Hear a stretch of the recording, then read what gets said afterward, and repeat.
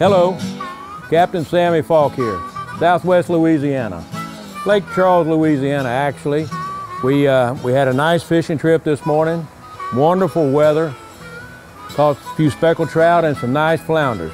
I filleted the speckled trout, but I'm actually gonna scale this flounder. That seems to be the way most people like to eat them.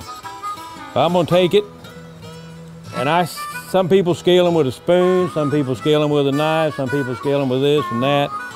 I actually like to use my fillet knife. It works real well. And you just run the fillet knife and work it backwards, working all the scales loose, and bring the scales all, bring it all the way down to the front. Get all this scale off the top part, that's where everybody's gonna be eating anyway. Some people say I don't even need to scale the bottom part, they don't eat the bottom. But anyhow, here's the bottom. And they're a little bit tougher, but still can be done. All the way there. That's it. The flounder is clean now.